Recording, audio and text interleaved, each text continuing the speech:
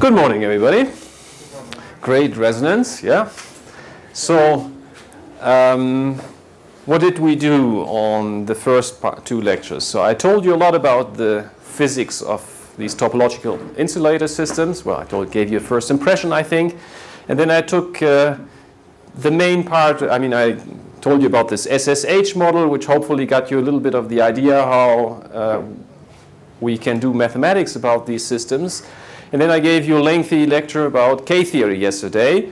And today I want to show you how you apply this K-theory in uh, these uh, solid-state physics systems, okay?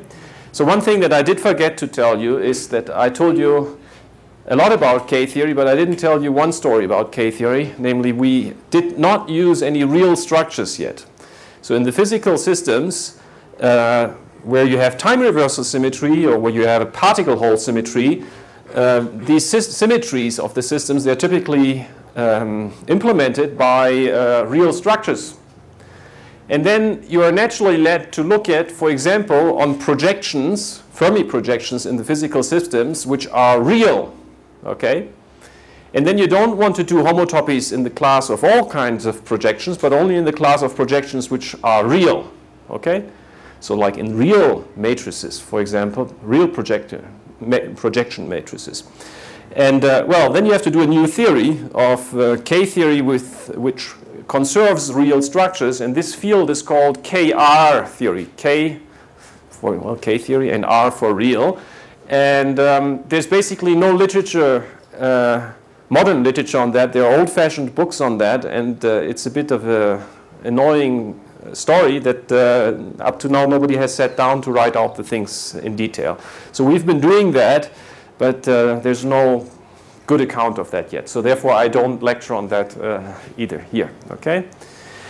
So we'll stick to the classes of uh, systems where you don't have these symmetries for, for today. So how were these solid state systems uh, modeled?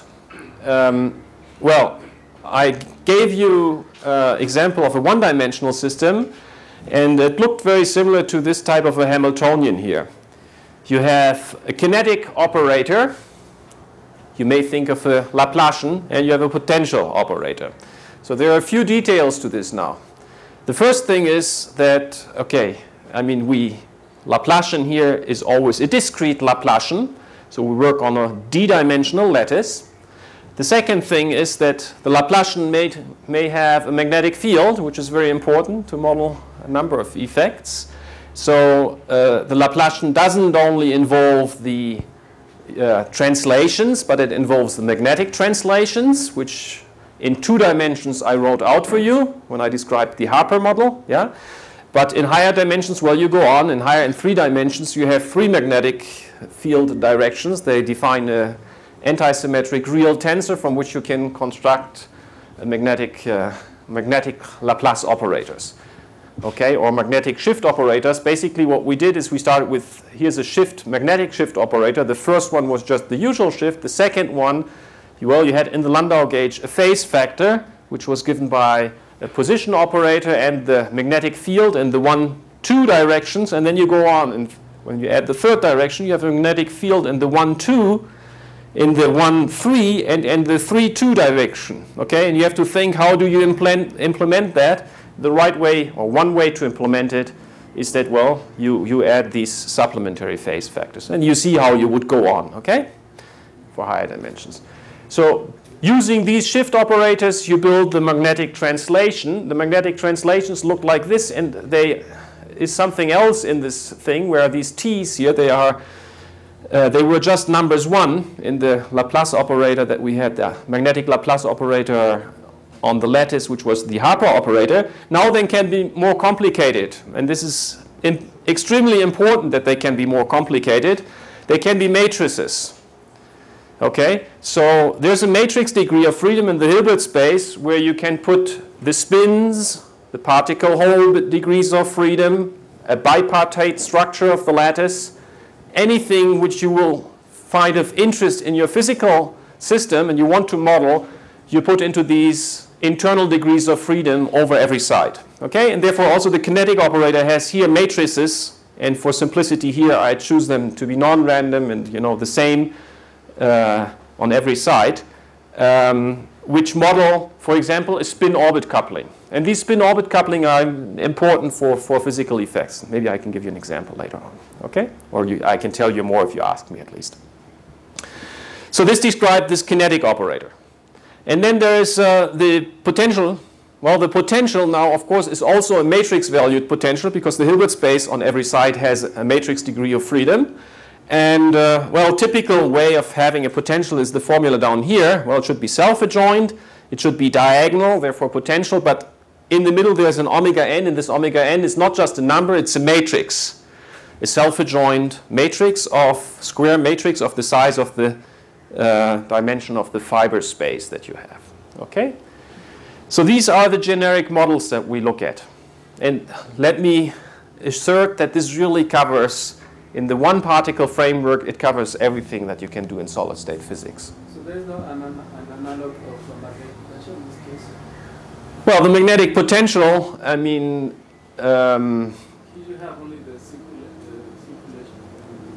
Yes, I only have a constant magnetic field here, okay, to make things simple, but also because that's what one is most interested in, I would say, yeah.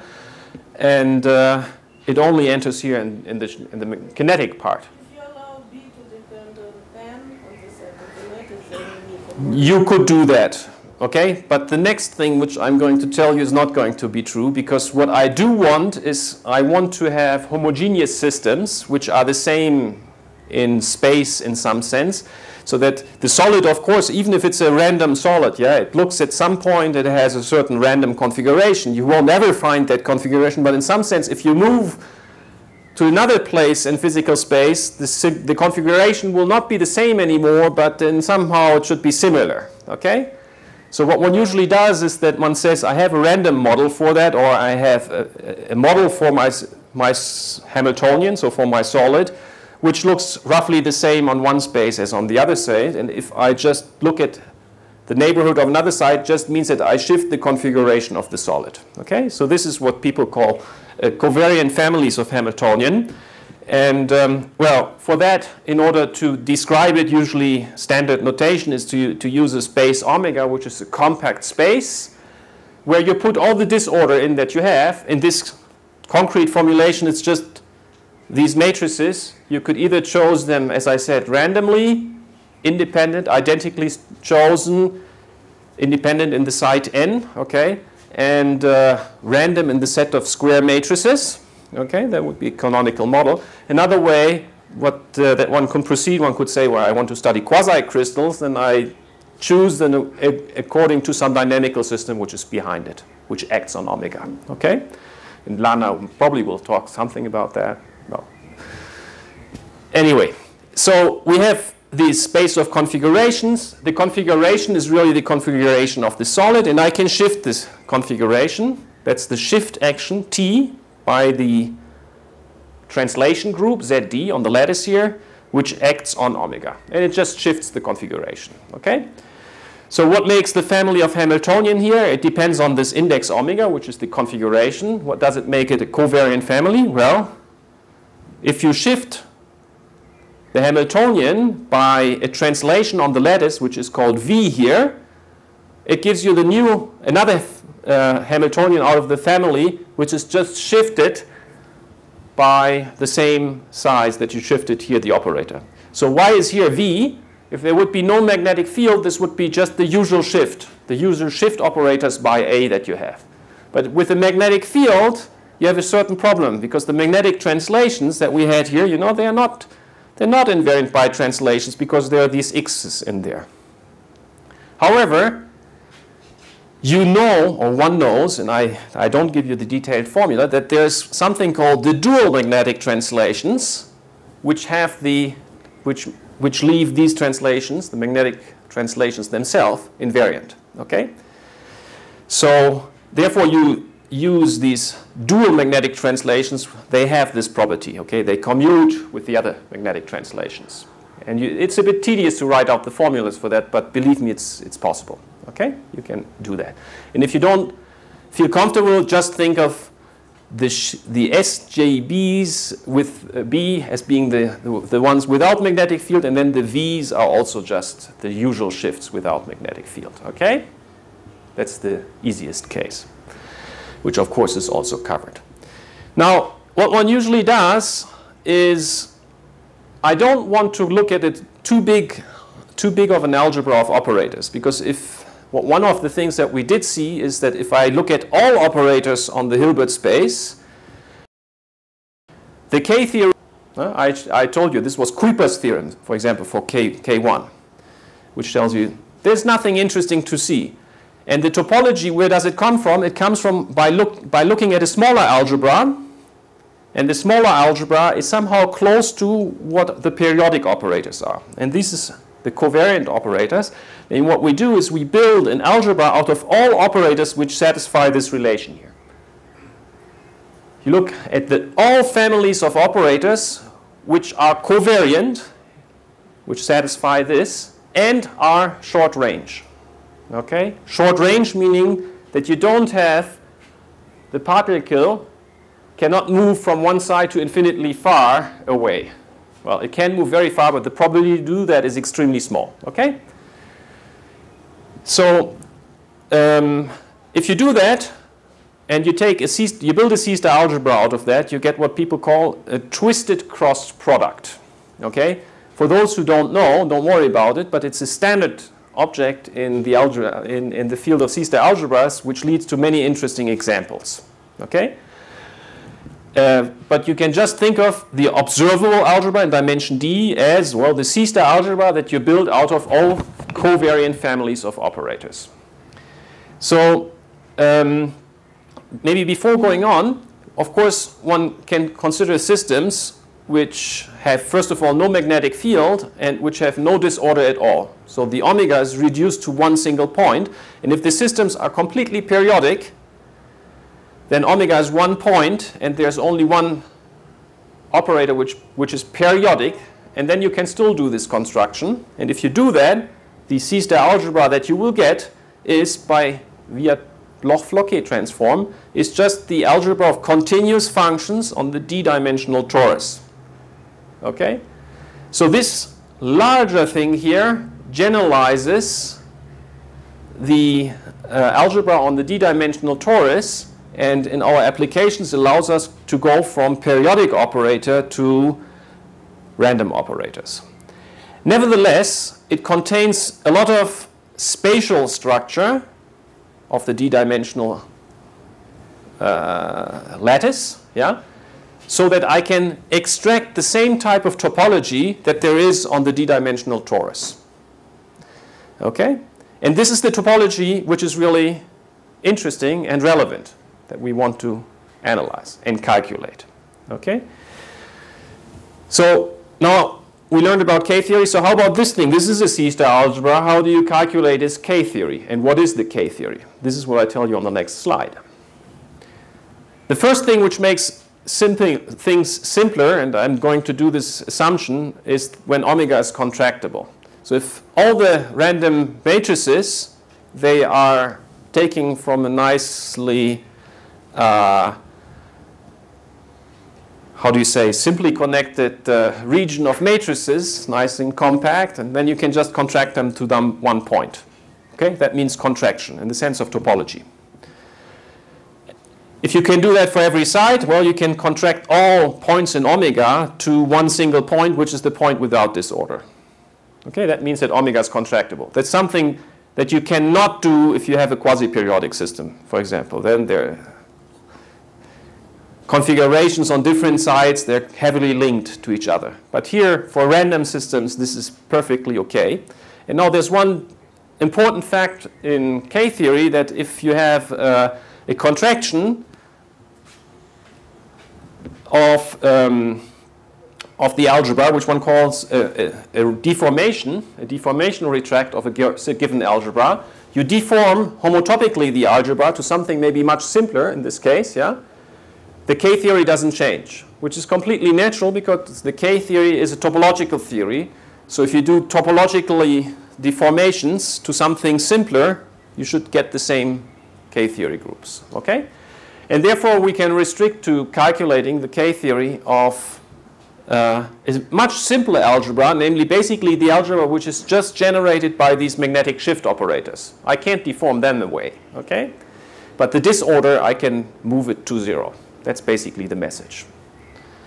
Okay, so this C-star algebra generated by D operators, which have commutation relations which are like in the Harper operator, the two magnetic translations. No, I just have D magnetic translations and they all commute up to phases. This algebra is very well studied. It's called the rotation algebra in dimension D. And the only data that you have to fix it are the magnetic fields in the different directions. Okay, it's one antisymmetric real matrix which is, gives you that of, of size D. And uh, these K the K theory of that has been calculated in a very famous and influential paper in, from 1980 by Pimsner and Voiculescu, two Romanian mathematicians.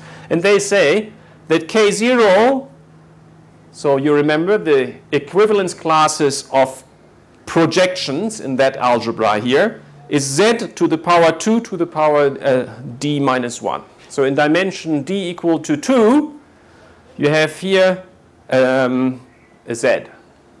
Okay? And over there, k1 is the same z. Okay? So let's try and understand a little bit where these things come from and uh, what we can do with them. d equal to 2, sorry, it's z2, huh? I should have said, right. It's z2 because it's... So how did these guys go about uh, proving this. What they proved is that the six-term exact sequence that I was explaining in detail yesterday actually splits in two exact sequences. Namely, you have two short exact sequences, but these are not the lines which were standing on top in the top line and the bottom line. What you see, there's K0, K0, and here's a K1. Okay? So these are like triangles in this exact sequence that we had one triangle here and one triangle there.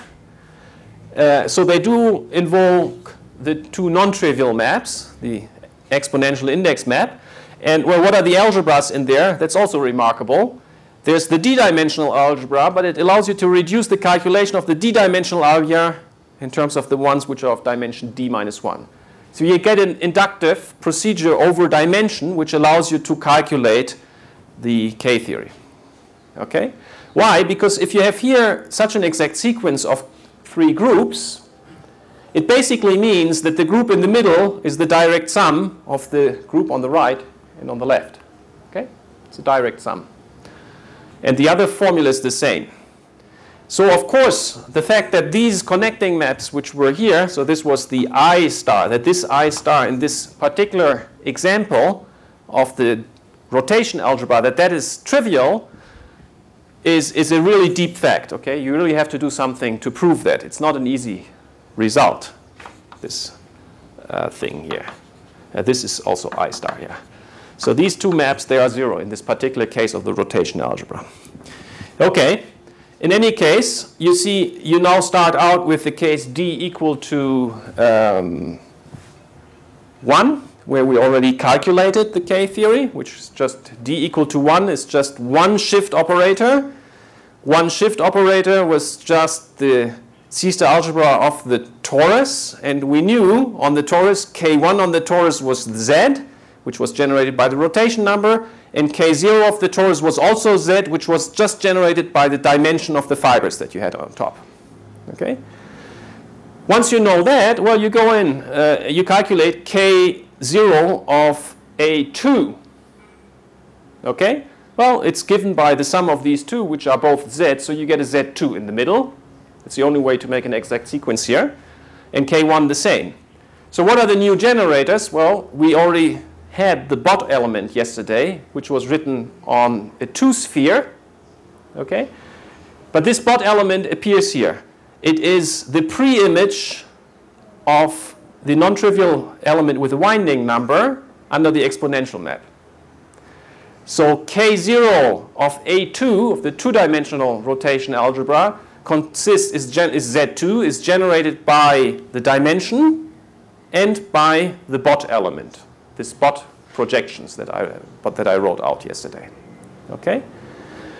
And then you can go on. You can understand, you can use this exact sequence to really construct all the generators. So we have a perfect understanding of all the generators in this algebra. And a good way to do that is, well, if, if the k0 and ki groups are, uh, as I said here, z to the power 2 to the power d minus 1, uh, a good way to label them, sorry, is to use subsets of the index, I mean index subsets of the sets of uh, 1, 2 up to d. And to each such subset, you have one generator, okay, which you can construct explicitly. It's just a way to enumerate. I don't want to give the full construction now. And uh, this generator depends only on the directions which are involved in the index set. So in dimension 3, for example, on the 3 torus, there are non-trivial elements which only depend on one element because on the, or even let's start on the, with the 2 torus, it's easier. On the 2 torus, you, you have functions which wind around once like this and once around like this in the torus. These functions generate non-trivial unitaries and are therefore generators of elements in K1. And they are the two ones which build up Z, the, the Z2, which is K1 of A2. Okay? And you see they only depend on one direction. Okay? Therefore you would say a convenient way to label them is to say I, I label them by the dimension which they depend. Okay, so this gives you all the a, a way to label them, an even and an odd degree.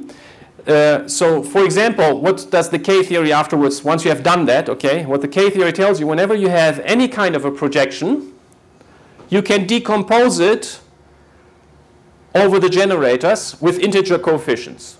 Well, that's just the decomposition that you have in this group, okay? If K0 is the group z to the power d to d, um, uh, z to the power 2 to the d minus 1, well, okay, there are all these generators that I now have. I give them a name.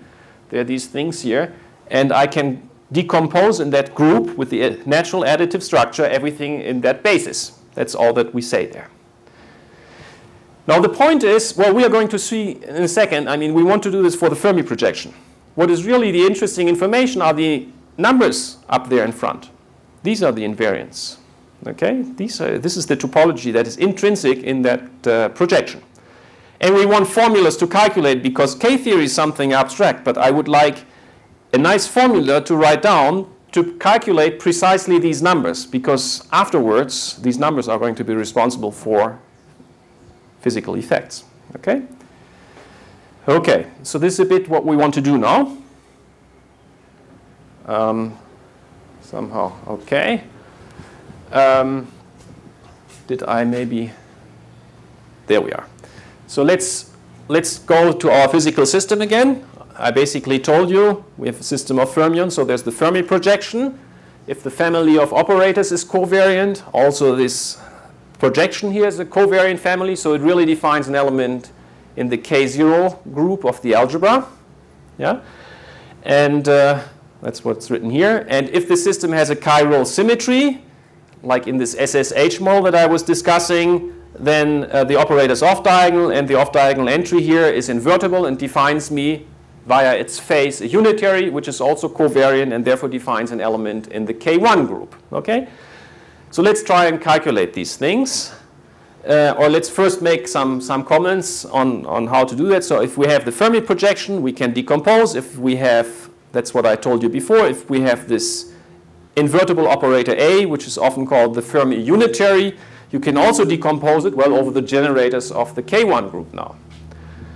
And um, now, well, there's a whole lot of invariants in here.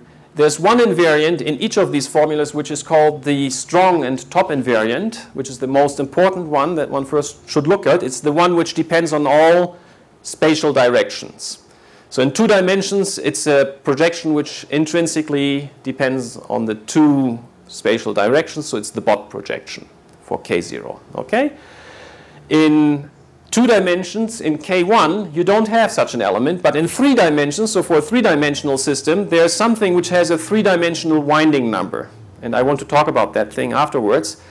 Uh, this three-dimensional winding number is something, well, you, you can write out what the generator is. It's basically, I, I told you what it is before. You can write it out with these Clifford algebra uh, uh, techniques.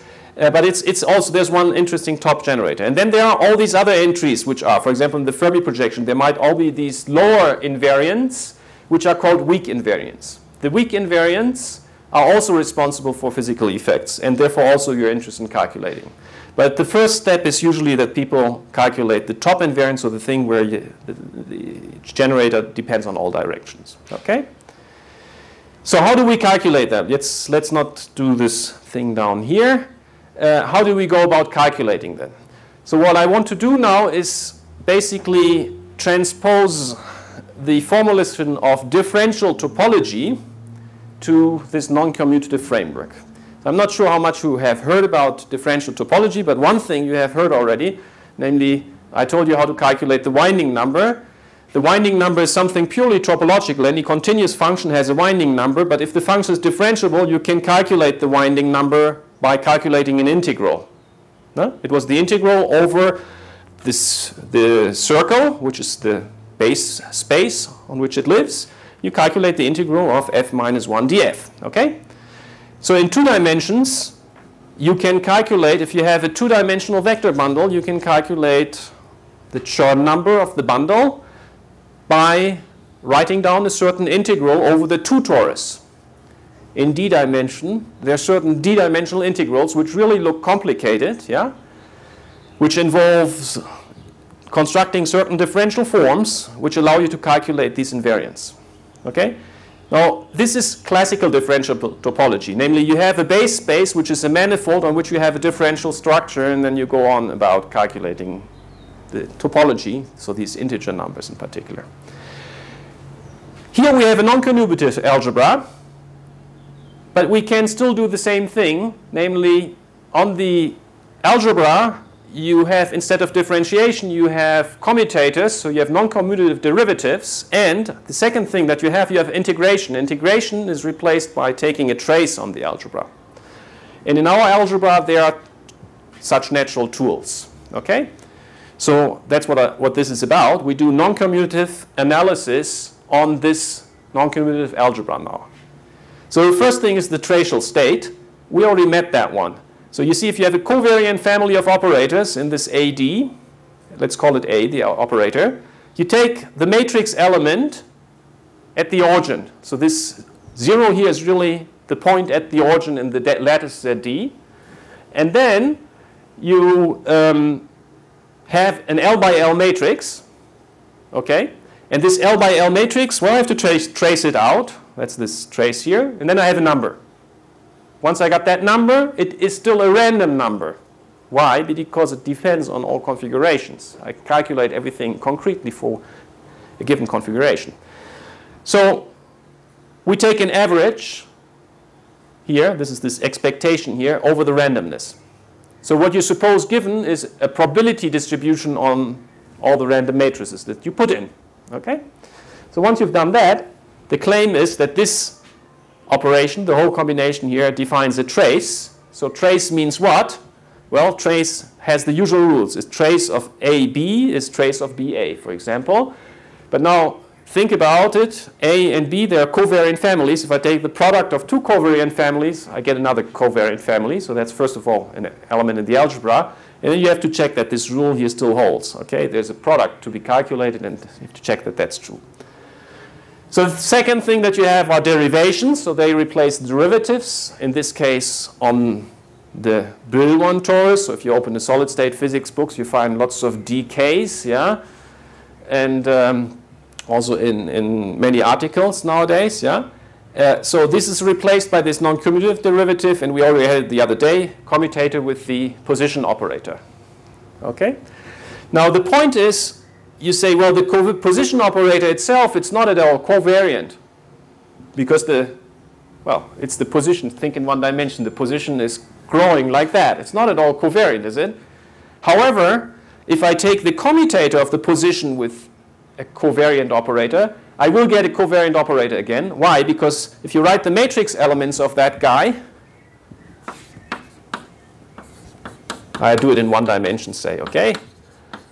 What happens is that you have here one n, and here you have an m, but because of the commutator, it's n minus m.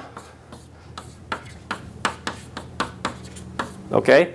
And that n minus m is shift is invariant under shifts. If I shift, the, diff, the distance between, I mean, the difference n minus m is not being changed because I change n and I change m. So the difference is not changed. Okay, therefore, this really, the right-hand side really defines an operation which sends a covariant operator again to a covariant operator. But as usual, you have the same difficulties as in differential analysis. Not every operator in the C-star algebra is differentiable. Okay?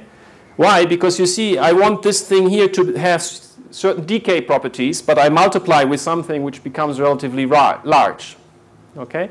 So it's the same thing like in, in Fourier space. If you think of a function on the, on the circle, its Fourier transform, multiply the Fourier coefficients by n, you don't necessarily get something which is, uh, again, the Fourier transform of a nice continuous function. Okay? So not all operators are differentiable and you have to take a little bit care about that. But uh, setting aside these things which can be done, okay, uh, these gradients do define you a differentiation in the sense that you have, for example, the Leibniz rule. That's the most important thing. The gradient of a times b is the gradient of a times b plus a times the gradient of b. Okay, that should make you feel comfortable. Okay, and moreover, the trace and the the trace and the differentiation, they work together. Namely, you have that the trace of the gradient of A is equal to 0.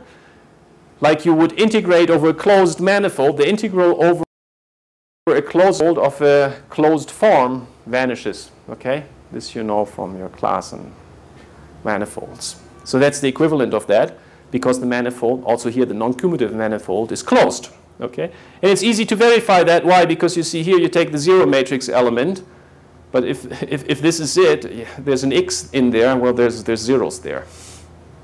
Okay? Okay, moreover, this trace given by this formula can be rewritten as a trace per unit volume. So I'm not going to explain it in detail, but uh, roughly, what you do is you take the trace in a finite box, and then you make the box bigger and bigger, and you divide by the, divide by the volume, that means you take the trace per unit volume, okay? That limit can be taken, and the Birkhoff theorem tells me that limit is exactly equal to the thing up there, provided the measure is, is ergodic, okay? Uh, yeah. Uh, this, uh, you mean that you have an exact form, right? And the integral yes. is another closed. Uh, exact, sorry, I should have said exact, yes. You're perfectly right. Okay, the integral of d omega is zero. So this value would be like the derivative. Yes. You can build up something like non-differential, non-commutative differential forms with these gradients, okay, by taking a, um, the exterior product with the Grassmann algebra. Okay, then you're really in this framework, and it's actually useful to do that. Okay, so these are the analysis tools. Now, what are the formulas? Uh, well, okay, here maybe one slide uh, to, to uh, say how this equivalence goes. The operators, the non-commutative operators in, in uh, solid state physics would correspond to function on the Brillouin zone inside of the matrices over the Brillouin zone. So typical thing called A of k. The gradient is called, it becomes the derivative with respect to quasi-momenta, and the trace is the integral over the Brillouin zone. Okay? And uh, well, therefore, if you know this little dictionary here, and you can add a little bit other few points, any kind of a formula that you find in solid state physics books can be translated in this framework. Okay?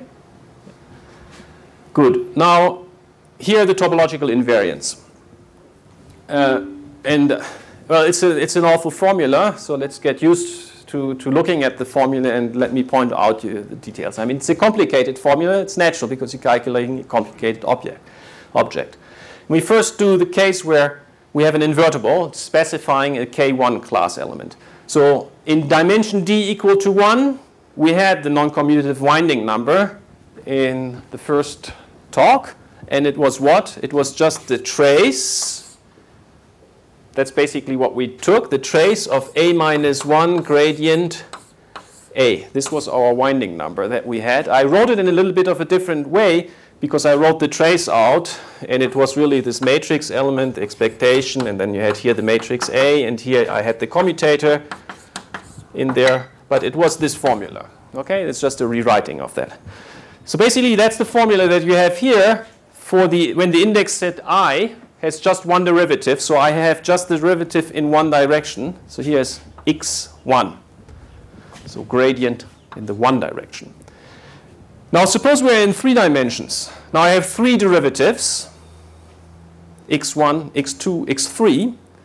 And uh, well, I should use all of them if I want to calculate something which is intrinsically three-dimensional.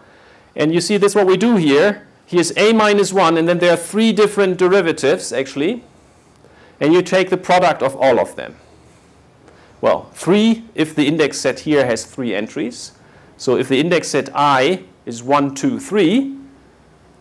I have there a product of three factors like this one. But, well, in which order should I take them? There are various orders that I can take them. The order should make a difference. So what one does here is that you permute, to take all kind of permutations that you can take, and you weigh them with uh, the signature of the permutation. So this comes out of doing tensorizing Grassmann algebra. Okay? And uh, well, then you take the trace, okay, and then you integrate. So that's the differential form here with this factor here, the sum here, and then you integrate it. In the front, there's a complica complicated numerical factor. A numerical factor is not so easy to find. And uh, uh, okay, it's important to choose the factor right because what you will find if you choose the cor correct factor, that this number is an integer. But you could also say the way to calculate that number in front is that, okay, I calculate that object and I want that it should be an integer number. So I have, have to choose the right coefficients. Well, there's a little bit more to that, okay? There's a whole theory about how to calculate these, these indices behind it. But we understand that quite well. So this is, for example, in three-dimensional systems, this formula with three derivatives would give you a three-dimensional winding number. Well, it's not really a winding number. It's something more complicated than a winding number, yeah? But it calculates the intrinsic three-dimensional topology in our systems. So in two dimensions and even dimensions, uh, we usually use uh, the projection themselves, so a K0 class, but you can also do this here in, in, in odd dimensions. But let's look at the other case. You either want to extract something from unitaries or from projections. So let's do the projection case. The formula looks a little bit similar like the one up there, except that for the projection, of course, there's no inverse in, of any interest. So there's only projections appearing in here, but then you also have products and you have permutations about commutation, I mean, uh, commuta uh, permutations of these products standing in there, and it's, it's relatively similar, the formula. Hmm? Uh, yeah, so the point is that the top invariant with these normalizations turns out to be an integer. But the others are not. They, are, they can be, for example, rational numbers. You could think of a, a rational number. What they are is that the image of this thing here, yeah, this map, where you put in all projections from the K group, the image has to be an image of uh, Z, To the uh, z to the power 2 d minus 1. Okay, so it's a discrete subset of the real axis that you get. Good, so complicated formulas, but um, actually mainly for these formulas, or the, the, way to deduce these formulas, one of the Fields medals has been given. These are due to Alain Connes, well, in a more abstract framework, but it's basically using that framework to our solid state physics systems here. And one of the things that he proved is that uh, these formulas here, they're really calculating homotopy invariance. So it's not obvious at all that if I start changing A here in a homotopic way, so choosing a different representative of my K1 element, that this formula spits out the same number. But it does. Okay, so doing a homotopy, we saw that for the winding numbers. Doing a homotopy, the winding number of the function, you, don't change the winding number, the, the integral gives you the same. Huh? This, uh, this integral here gives you the same. And that's also true for these more complicated expressions. Okay, so they are homotopy invariants. That's what's written down here. So also for the projections, if you change the projection continuously, the value of that doesn't change. So what other things do we know? Well, maybe skip this slide here. But because you asked, this slide might be of interest. Is um, I will show you in a second that the top invariant is an integer number with the normalizations chosen, but the lower ones are not. Namely, you have this type of formula. You can take, uh, well, let me explain the first uh, this type of a formula in two dimensions. So in two dimensions, there's something called a Streda formula in solid-state physics, which I'm afraid most of you don't know, but uh, okay, some might. Um, it tells you that the Hall conductance is given by the derivative of the density of states. Okay, it's a fact. And uh, you can reformulate this Streda formula in the following way. The Hall conductance is given by the second Chern number of the Fermi projection. Okay. You calculate it with the formula that I had on the first day there, which was well, not generalization of this. You had the Fermi projection, and then you have two derivatives now, gradient 1 and gradient 2. We had two projections. We take the permutation, which is taking the sum over the two permutations in the group of S, S2 now, with a different sign, therefore the commutator. You take the trace. The prefactor, which looks complicated in general in dimension 2, is just 2 pi i, and this is the Chern number. Okay? And in my notation, it would be Chern number associated to directions 1 and 2. So there's also a Chern number without no derivative. Well, the Chern number with the empty set is just the trace. So this trace here is not at all an integer. Okay? So if you think of the Landau operator that I explained, the trace of the projection would be the density of states in the first Landau. So what it does, it depends on the magnetic field. Yeah, if you make the magnetic field, you, you change it, the density of states of one Landau band, uh, whether it be blown up by disorder or it be just a singularity, it changes. And the way it changes is that uh, it changes linearly in the magnetic field. So the fact is that if you derive this density of states by the magnetic field, then it's equal, the derivative is equal to an integer. Okay? And it, this integer is the, is the second Chern number. So basically, this scheme here holds also for all the higher invariants. Okay? Namely, if you take uh, the Chern number, for example, in dimension 4, this thing here in dimension 4, and you derive with respect to the magnetic field in the directions 3, 4, in a four-dimensional system, then it gives you the top invariant in dimension 4. Okay? So of course this one, this the Chern number in dimension 4, the two-dimensional Chern number in dimension 4 grows linearly with the magnetic field. It's not an integer, therefore. Okay? Um, yeah. So this allows you to calculate all the image of all these. These formulas allow you to calculate the whole range that you get under the pairing of the um, K groups with uh, these cyclic co-cycles, so with these formulas that I gave you there.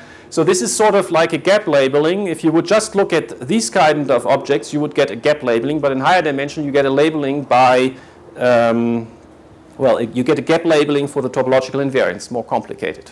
But it's basically the same thing behind it.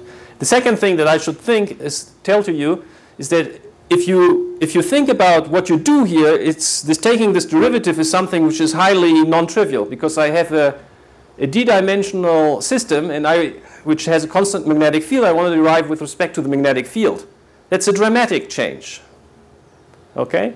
So many people have started looking at deriving with respect to the magnetic field. It's dramatic if you write this in an operator language. Why?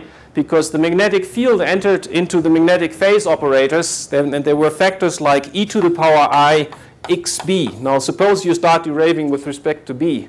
You get an x. It's becoming horrible, uncontrollable. Okay? But in this algebraic formalism, uh, there's a nice way to calculate these derivatives and it leads to these beautiful formulas. Okay? Another thing that I should say is, well, you would say, why, well, it's crazy. Why do you think about four dimensions? but actually, this four dimensions is very, very natural. Because if you have a three-dimensional physical system and you drive it periodically in time, this periodic time driving introduces a fourth direction. Okay? And uh, this periodic time driving allows you to calculate something which is called the polarization. And then there's a, a second order effect, nonlinear effect, which is called the magnetic electro response, which is exactly connected to the four-dimensional invariant, namely the derivative with respect to the magnetic field of the polarization is the magnetic electric response. Okay? And then this formula here becomes extremely interesting. Okay? It's, I didn't tell you the details what these objects are, but I mean, okay, if you really want to read about it and how to connect these topological invariants to measurable quantities, uh, let me advertise the book that I wrote there. This is written in one chapter, all the physics, so to say, to, to these numbers. Okay, so up to now this was the invariance. Maybe briefly, let me tell you that for the top invariant, an important thing in the, in the theory is that you can show that the top invariant is always an integer. That basically allows you to calculate the whole range. And the fact that that is an integer requires the proof of an index theorem. Okay? So here's how you go about calculating the index theorem uh, in odd dimensions, say. Okay, in odd dimensions we had this A, and the first index theorem that I told you on the first day was this Noether index theorem, which told you that the winding of a number, which is basically this thing here up to the factor i here, this was the winding of A. This was equal to the index of a Fredholm operator, which is the Hardy projection of the operator A itself. Okay? This is what we had. Now, how do you go about that in higher dimensions? Well, in higher dimensions, what is the appropriate Hardy projection? Basically, the formula will look the same. If you look down here to the bottom, you have a d-dimensional Chern number. So in dimension 3, it's this three-dimensional winding number. Okay? And it's equal to the index of a Fredholm operator. And all of a sudden, the Fredholm operator looks the same as here. Okay? Looks the same, except that you have to know what the pi is. And um, well, what is, uh, what is the pi? So this is what, what's explained up here. So usually if you go about proving index theorems, there's, um, there's a Fredholm module behind it. That means there's some kind of a Dirac operator behind it. And here the Dirac operator is this animal here. Are the position operators, and they are tensorized with gamma matrices. So the gamma matrices are the usual gamma matrices in Clifford algebra, yeah? Uh, acting on an auxiliary Hilbert space, and uh, which you just tensorize onto the physical Hilbert space. This is a physical Hilbert space. You tensorize the Clifford algebra representation space so that you can build that thing. So this is an unbounded operator. It doesn't look like a Dirac operator because usually the Dirac operator is a first derivative, isn't it? But if you do a Fourier transformation, this x here in Fourier space becomes a deriv derivation with respect to the quasi-momentum. That's roughly what I told you, okay, before. So basically, this is the dual um, Dirac operator of the Dirac operator on the d-dimensional torus. Now, this operator here is, is self-adjoint by construction if I choose the gamma matrices to be self-adjoint. Okay? And uh, therefore, uh, I can wait a second. Uh, let me check with the yeah right. Um, therefore, I can look at um, basically its positive spectral projection. So I should have maybe said it in this way. What was the Hardy projection here? Was the projection onto positive frequencies. It, it can also be seen as the projection on of this operator. If there's just one x, I use the projection on all positive, on the positive spectral subspace of x. It's the Hilbert space L2 of n, of positive sites. Okay? So here you do the same thing. You take this D, and you take the positive spectral projection of D, and you call it pi. Right? So this is just a fancy way of writing this here. Forget about that. That's the pi down here. Okay? So this is the type of index theorems that you get, and it tells you in particular that uh, the normalizations, this is non-trivial at all to prove, yeah? It's, it's a hard proof. it tells you that uh, the normalizations are chosen in the right way, such that this is really an integer. Okay? Remember, there was complicated factors in there. For even dimensions, well, the thing is um, similar. Uh, these Chern numbers are also equal to a Fredholm index, but maybe let me skip that and rather go on to some other applications now. So what I wanted to, so what I want to tell you now, also this I wanted to skip, I want to go on far. I want to show you now how this bulk boundary correspondence really is put to work. Okay? And uh, because I told you a lot about these boundary maps in, in K-theory, and now let's put it really to work on these solid state physics systems and uh, prove what I promised you that on, on these systems on the boundaries you have non-trivial edge states. So one part of this I already told you yesterday. I mean, we had we now constructed this algebra of the bulk. This was the algebra of covariant operators. But now we want to construct also an algebra of operators acting on the half space. And that just means a little change, a tiny little change, namely the, I choose it in the dth direction. The dth direction becomes a partial isometry. So like in one dimension, the shift is replaced, the bilateral shift in the dth direction is replaced by the unilateral shift. Okay? Looks like a very tiny difference, but it introduces a huge defect in this algebra. In particular, uh, this algebra here is also called Toeplitz extension, like in one dimension. Uh, it has a huge kernel. The kernel consists of all operators acting on the edge, which is something, well, which is actually pretty isomorphic to a d minus one dimensional algebra. That's very natural if the operators in the let's think of a 2D situation. In the 2D situation, could be moved around everywhere and would be the same. If I cut off this, at least they should be still covariant in this direction. Okay, I could I can shift them in this one direction and uh, obtain a new operator inside of the family of operators on a half space. And therefore, all the operators on the edge, well, they should be given by a one-dimensional lower algebra of operators, covariant operators, which is a d minus 1. Well, plus a modification. The modification is that uh, they are compact operators in the perpendicular direction. Here, everything going in that direction. So this is a compact operator set. So that's, uh, of course, something big and changes a lot, but it doesn't change the K-theory, because one of the things that I told you, that K-theory is invariant under tensorizing of compact operators. It's compactly stable theory. So this thing here will not change the K-theory. So the K-theory of the edge is like the K-theory of one dimension lower. Okay? Good. Moreover, we have this exact sequence here. Now, uh, well, I basically only took the abstract thing that we had yesterday and, and wrote it out. But what we are going to be interested now is, is this exponential map and this index map. Why? Because it connects you, the d-dimensional K-theory, to the d minus one dimensional K-theory, which is precisely K-theory on the edge. Now, this exact sequence does that automatically, okay? I, I don't have to tell you anything on top of that. But what I told you now is that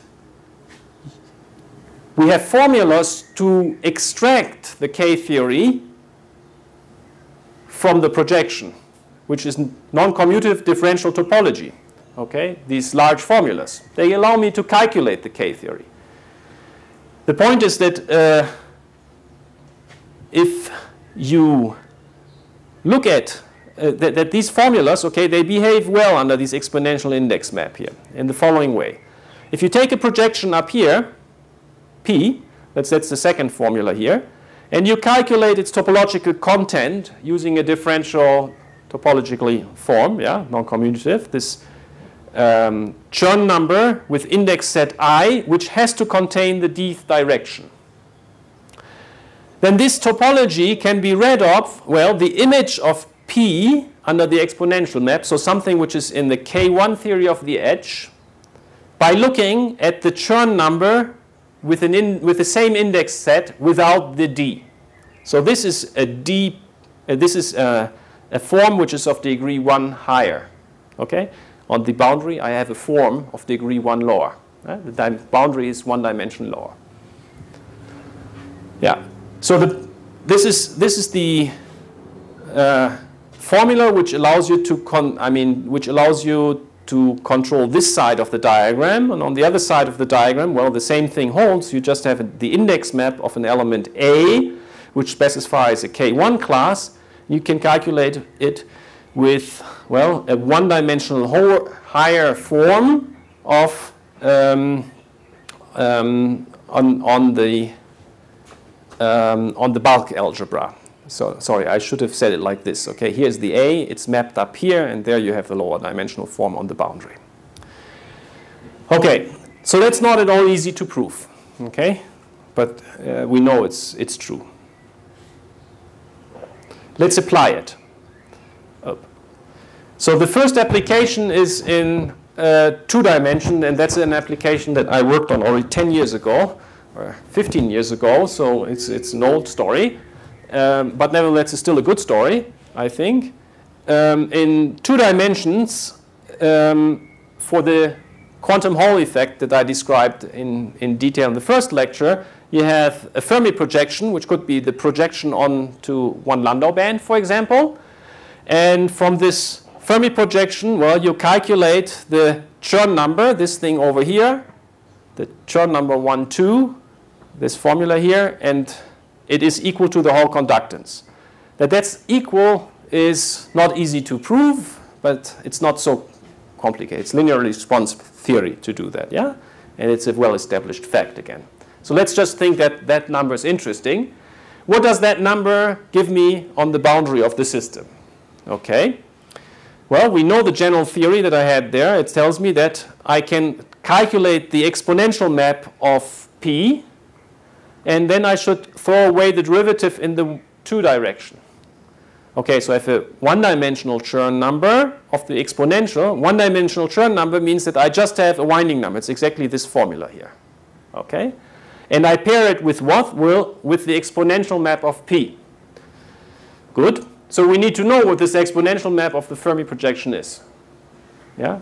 So let's calculate it. How did one go about calculating the exponential map? It was e to the 2 pi i times the lift.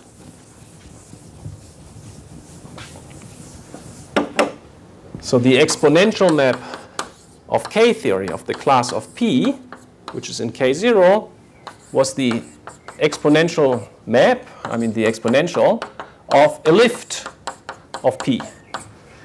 And that is a class in K1. What is the lift? Well, the lift was something where you had P, which was in A2 here, the two-dimensional algebra, and you have to lift it into something uh, which is in the Toeplitz extension of that, so in the half-space operators. So how do we do that?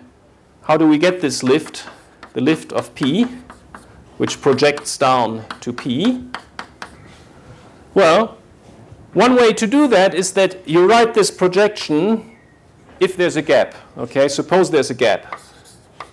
So we're in this situation that there's here one Landau level and then starts the second Landau level, okay? So I have a gap here to make things easy for now.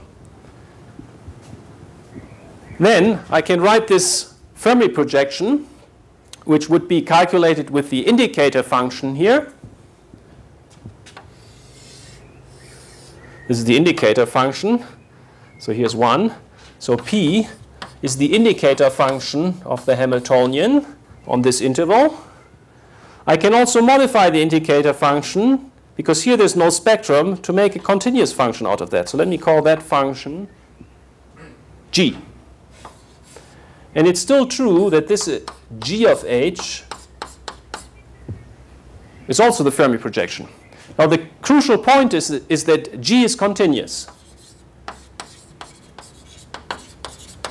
Now because G is continuous, G of H is uh, inside of the C-star algebra, while a spectral projection inside, I mean with, with uh, which is a discontinuous function, would not be in the algebra in general, because the algebra, the C-star algebras, are only closed under continuous functional calculus. If you do measurable calculus, you get out of C-star algebras. You get into Neumann algebras, which have no topology anymore. Okay? So you need to do continuous functional calculus. But once we have done that, namely written this as g of h, this p, we see that we can choose the lift simply as g of h hat. What was the h hat? Well, h hat was the projection of pi, uh, the projection of h onto the half space. Well, I use the same letter pi as back there, but this is the projection on the half space. Okay? We just restrict the operator on the half space. And if you calculate this object here, g of h hat, that object, yeah, is really an element in the C-star algebra because h hat is and g is the continuous functions. Okay? And then you calculate e to the power 2 pi i, well, of the lift, which is g of h hat. And that's the unitary that appears there. Okay, so it's this thing here. Exponential of 2 pi i g of h hat. Let's extract the winding number of that. Well, you take that e to the power 2 pi i g h hat, you plug it into that formula up there. Okay? You calculate. You get a winding, a way to calculate a winding number from a one-dimensional unitary operator. Okay? And uh, then you do some analysis. Okay, I didn't write out the formula here, but that, that's, that's basically the fact of this. Huh? I have the winding number here standing there. The point is this winding number over here, we can recalculate it in a different way. You can write it as this. What is written down there? Well, it's the commutator of x1 with h hat. So x1 should be this direction, 1, 2. So this is the current operator in the one direction. Huh? The commutator with x, x with h is the current in the one direction, multiplied by the derivative of this function g. So what's the derivative of the function g? Well, if the function g was this uh, continuous function going down slowly there, then the derivative of it is a positive or is a negative function well, if, if this would be g, then the derivative is something which just has a bump like that. Okay, It's compactly supported there. And um, it has an integral 1. And g hat of uh, g prime of h hat is therefore like a density matrix of states lying inside of this interval there. Huh? And you calculate the current flowing inside of these states because you take this density matrix of states and you calculate the current in that. Well, actually the current density, you see this is like a mixture of the trace per unit volume in the one direction because this current is going to flow everywhere here. But the usual trace in the two directions. So there's a sum over N2 in here which, uh, well, one has to prove that it exists actually, but I want to calculate the current density flowing one through one line. So this is what this formula does. And the beautiful thing is that this thing on the right-hand side here, yeah, this current density flowing along the boundary is, well, equal to the two-dimensional Chern number. So in particular, it is equal to an integer number. And the second thing it's an integer number which I can predict from the topology in the bulk of the system. Okay? And this is very crucial for the understanding of the quantum Hall effect. Because what it tells you is that if you have a two-dimensional quantum Hall system, or anomalous quantum Hall system, or spin quantum Hall system, then, well, this number here is non-trivial, and this non-trivial number here, integer number, dictates you how much current flows along the boundary. And the current is extremely robust. In particular, it's so robust that I can, well, for example, I can add disordered potential. I can cut out slices from the edge. If you cut a hole here, it doesn't make any difference, okay? Do something like this, well, then the current is just going to move by, but there's, there's still the same current density flowing by. Good, so this is a very old story. Now, we have set up the whole formalism so that we can do new things.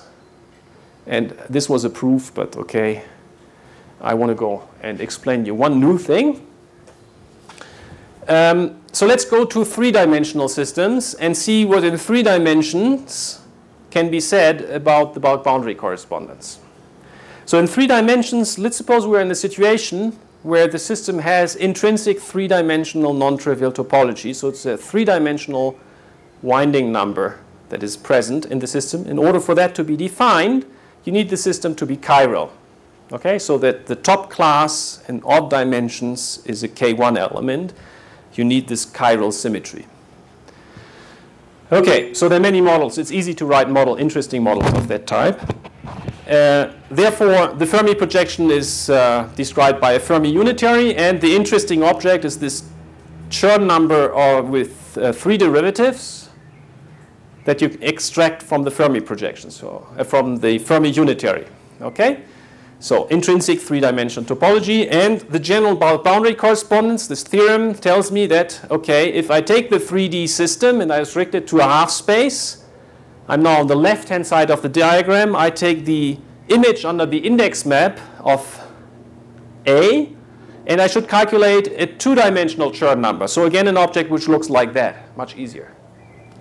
Okay, perfect. So uh, what's the interesting situation that something like this happens with? Well, okay, I mean, uh, what, what is this index map? Again, we have to calculate the index map. Yeah, we have to calculate the index map. So here I showed you in detail how to calculate the index, not the index map, but the exponential map. Now we want to calculate the index map. So let's let me explain you how that goes.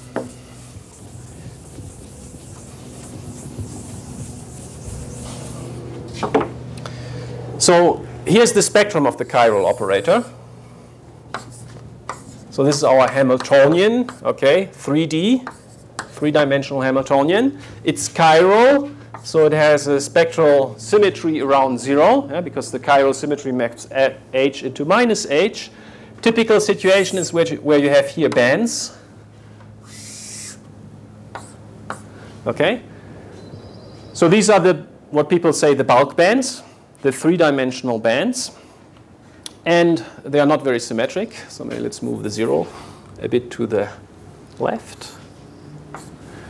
And um, now we restrict the system to a half space. So half space is really a, a half a three-dimensional half space. Yeah. So what will typically happen is that uh, the restriction to the half space will create boundary states. So the spectrum of the half space operator will have spectrum in this interval. And actually what we will prove is that we must have such spectrum. Whatever spectrum you have there, it is going to be still a chiral operator, so the spectrum is symmetric. So that means that if I have a little piece of spectrum sitting here, there has to be a piece of spectrum on the other side. Okay? And if I have a band here, I have a band over there. It might also happen that the full interval is filled, but it's not necessarily. In particular, one way to create gaps like this is as follows. You take this 3D sample, and you have on the surface of these states, of these 3D samples, you have like a two-dimensional electron gas. Now, how do you create many gaps in a 2D electron gas? Well, you impose a magnetic field. So if there's a magnetic field perpendicular to that, you are like in the Harper operator that I described in the first lecture, and it has lots of gaps. Okay? So producing gaps like this comes from a magnetic field in the uh, in the one two direction. So the one that uh, oh I, well, yeah, in the one two direction.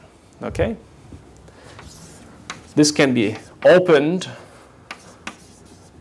by magnetic field. Also other phenomena, but okay, just to have something concrete.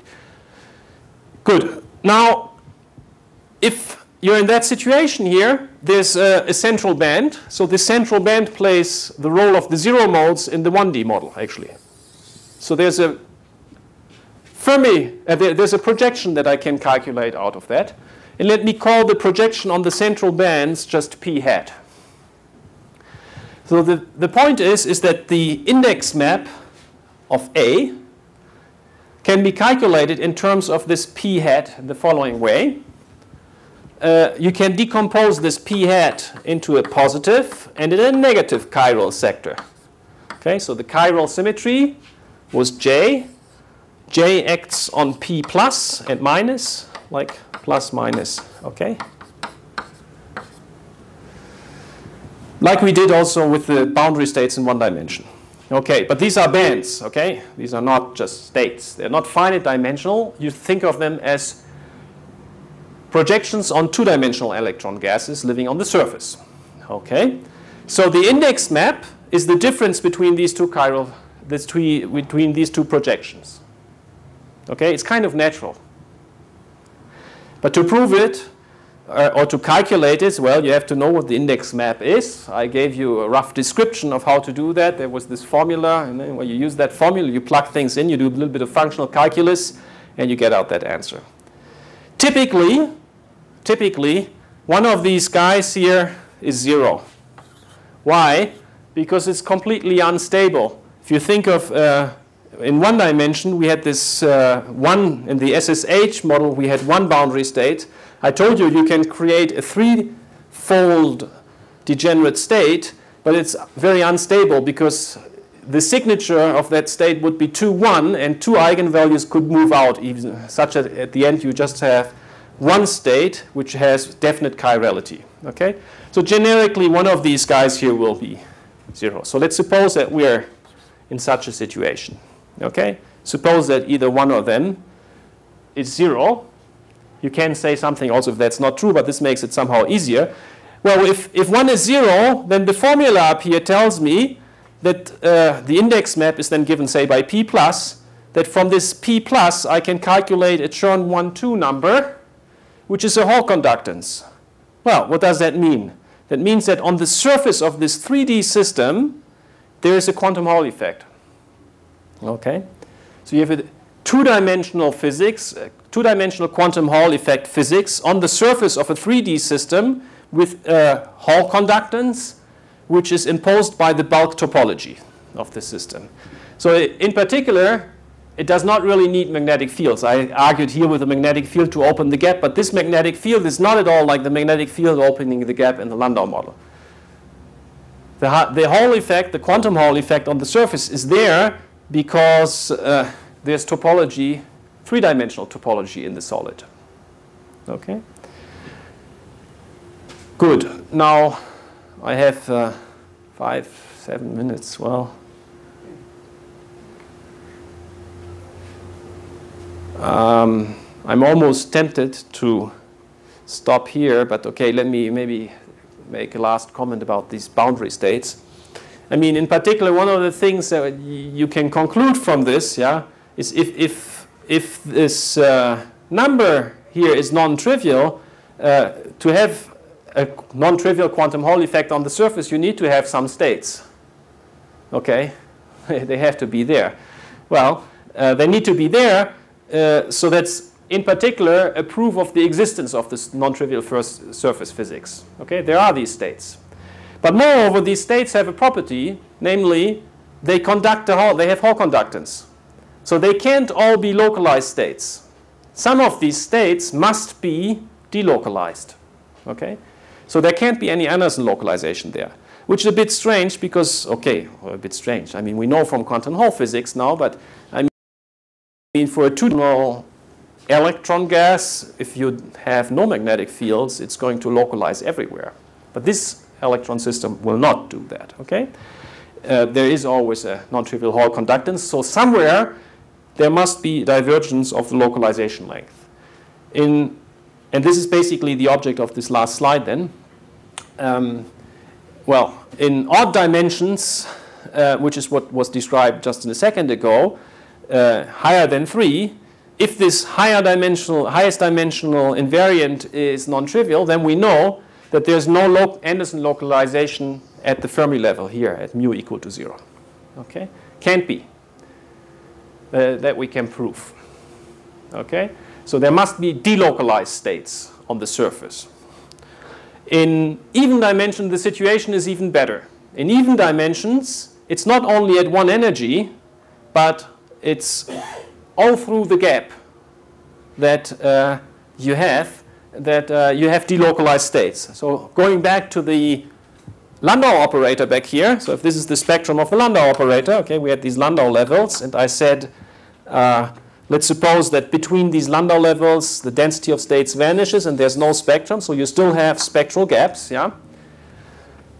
What the theorem there tells you is that inside of these spectral gaps, you will have surface states.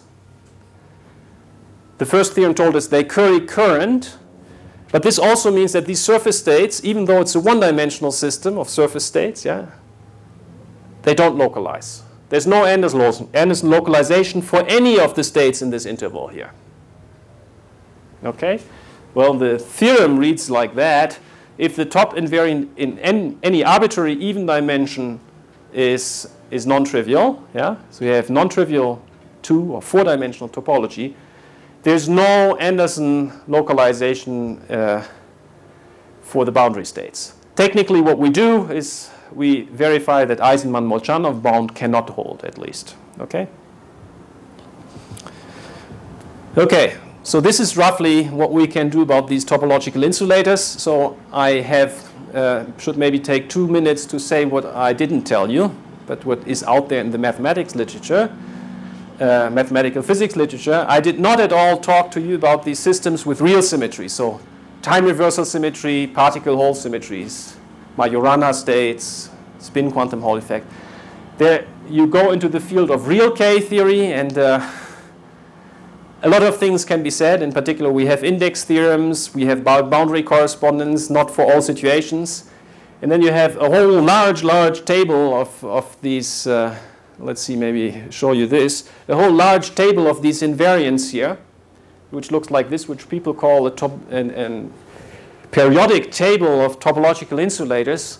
And uh, well, what is in this table is that you have here the dimension of physical space, and here you have the symmetry classes. So what I only talked about is this very first line here, this first, uh, first two lines here, where you either have a chiral symmetry or you don't have a chiral symmetry. And the z's which are in here, they are the top topological invariants. So I talked to you about this thing here and about the physics and boundary correspondence associated to these numbers, the top invariants, without real symmetries. But in if you have real symmetries, well, you have uh, an 8 by 8 block here of 64 invariants, which are the top invariants of real K theory. And for all of them, we also have index theory. And then you have to go into, well, into in particular the two and three dimensional cases here and look at for one such Z2, what is the associated physics? What's interesting to be seen about? What effects has that? Okay, so we haven't I mean, many, many people have worked on that and have understood many of these things here. On the mathematics side, we haven't worked on all of them, but even on the physics side, not all of these entries in the table here are really understood in the sense that they, people know what physical effects are low, uh, associated to that. The table itself comes relatively easy out of the K theory, the real K theory of d-dimensional tori, or even d-dimensional spheres. Okay? So that part of the so story I did not tell you at all. Okay, I stayed within the complex theory. So maybe that's a good point to stop. Thank you.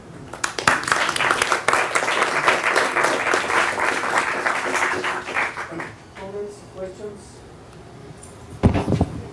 Um, do you have a reference about topological invariance? Well, okay, depending on what you want. You want the physics literature or you want the... Yeah, yeah, the physics li- physics literature. So there's a beautiful review. Uh, so I suggest you download that because uh, file, this is on my webpage, and at the end I have a whole bunch of uh, references. And I think still a very good read is this New Journal of Physics paper, where this K theory is beautifully described. Okay, it's one of the earlier papers of the people which started the field. Okay, Andreas Ludwig, Shinsei Ryu, uh, and it's very good. If you want more mathematics, I already told you there's the, the book that I wrote last year, and you can also download it. It's free online on the archives. You can click on it. Okay. So why does the fact that doesn't code apply if there is no localization? Well, for us that was like uh, the if the Green's function has okay. So what we prove is we we have we can't have very uh, slow decay of the Green's function. For me, if you have uh, slow decay of the Green's function, there's some conduction in the system. But okay, I mean, right. I, do you have some other examples in mind where, where this is contradicted, or No, I just don't know. maybe Fritz has a comment on that? Yeah, can I pile on uh, Yeah. Do you know the nature of the spectrum in this interval? No. Okay. Uh, well, that's not completely true. I mean, uh, I mean, we definitely don't know anything in the chiral thing. What I do suspect is that in typical disordered situation, there will really be just one energy where your localization length diverges, and you have point spectrum all the way outside, similar to a Landau level. Okay. But for the two even dimensional systems, it's different. Okay, there we really prove that there's no Anderson localization for all energies of uh, in the surface spectrum. Yeah, and uh, we haven't proved AC spectrum there. But I, uh, that's not true. No, I start recollecting little by little. I mean, Jürg Fröhlich, uh, with Gian Michele Graf, and um, and Walcher, they have uh, employed um, Mourre estimate techniques to prove AC nature of the spectrum in certain particular situations. Okay. Um, the Mourre estimate, which is very natural, is, is the current operator. You look at the current operator as the positive operator because these states have to be chiral. Okay, so they have a orientation. So that's a positive operator that you can work with there. Okay, that's what they did. But what I think is actually so my point of view is, is that these results are much more strong because I really don't uh, give uh, something yeah, about what the nature of the spectrum is. Why? What this tells you, the formula that I wrote you, is that I can calculate the current that these states carry. And the current is quantized. You have really quantized edge currents. And this is a physical consequence which is much stronger. Okay? So you can say there's a number of edge channels in the systems which physically are difficult to pin down. But I mean, they flow everywhere, yeah, all the way out, away from the boundary. But there's still something. If you integrate everything out, the current flowing there is, is integer.